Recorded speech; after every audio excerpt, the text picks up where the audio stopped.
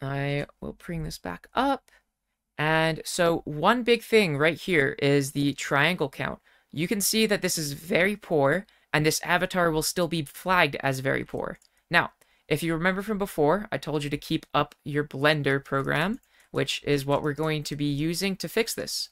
So, in this situation exactly, there are a few things we can delete that we don't really use. So for this help screen right here, I can go ahead and delete this. I won't be using that. And additionally, I can go in the animator. I can go find where the help screen is. And I can also delete that from here so we're not wasting that space. So with that done now, our number has dropped, which is good.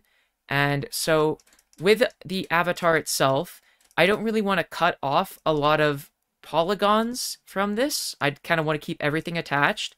And with that, there's sometimes if you want to keep it only clothing, you can basically take the body underneath the clothing and go ahead and cut it off. But for what I'm going to do here, I'm going to go ahead and do the easiest part. So if you go to the eyes, and I'm going to press L to select each of these eye rings, L and L again, and I'm going to press Shift H, and this will basically hide everything but the eyes. So as you can see, to a certain point, the eyes actually stay inside of the head, and so we have all of this wasted space right here. So what I'm going to go ahead and do, I'm going to quickly hit Alt, double click. This will line up right here in the middle. And so what we can do is we can hit, I'm actually going to do it right here.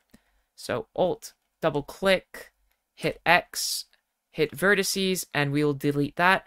And then same thing here, Alt click, vertices, delete, uh, Alt click, X, vertices, delete, Alt click, X, vertices, delete. So we are left with the front side of the eye and this back side. And now what we can do is we can press L, X, delete, L, L, X, delete. And now as you can see, we have removed some of this unused stuff over here. And if we Alt H, you can actually see that it didn't really affect the avatar at all. That missing space has now been removed, and we've optimized the avatar a little bit. So this is actually just enough to push me over. If your avatar ends up having a lot more stuff, I would recommend deleting certain parts off of your avatar and then basically adding it to a different upload to keep it optimized. For this one, we didn't have to do a whole lot, thankfully. So now that that is done, go over to File, Export, FBX. Want to make sure that we're in the same location. Remember, FBX all, animation off, armature, add leaf bones, hit export. And if we jump over into the Unity, we should now see our very optimized avatar. And right down here, as you can see, our triangles is good, good performance. Now all I have to do now is add a thumbnail. So create new thumbnail, fill background. I'm going to give it a pink background. It's a little too pink. There we go. And then I'm going to go ahead and hit capture. And then now finally, I'm going to hit build and publish. And I'm going to basically wait for this to upload over to my account.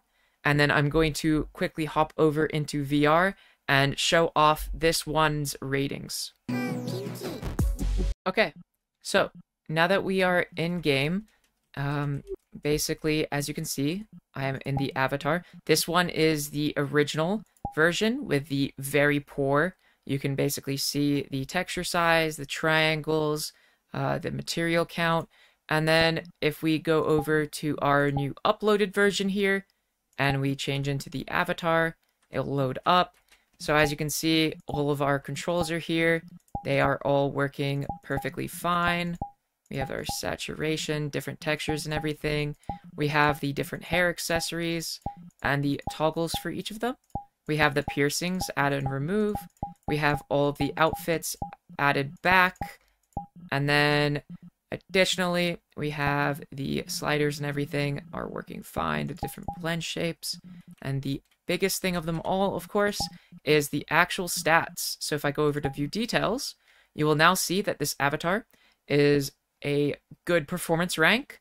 It has a download size of 4 megabytes, which is super duper tiny. We have a optimized texture memory. We have the uncompressed size. So this is basically the raw upload size, and we can actually get this lower if we were to delete stuff. We can see that our triangles is now below the threshold, and it's considered a good avatar.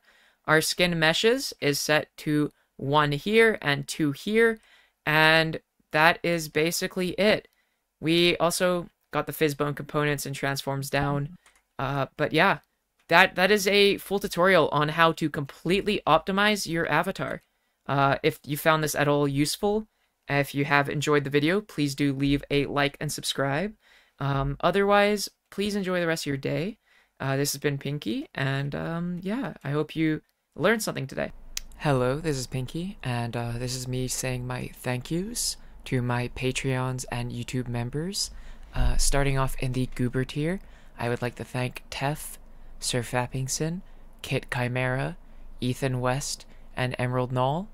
And in the Mentally Insane tier, I would like to thank po- Foxy Paws, Kirchin the Fluff, and Blue Nino. And then over on my YouTube memberships, I would like to thank Blue Nino and AZ3 what you guys do helps produce videos and keeps me afloat. Uh, I appreciate the support very much. If you're interested in getting a goober, like seen on the screen below, uh, please go to the description and head over to my Patreon. Otherwise, have a lovely rest of your day. This has been Pinky, and I hope I helped.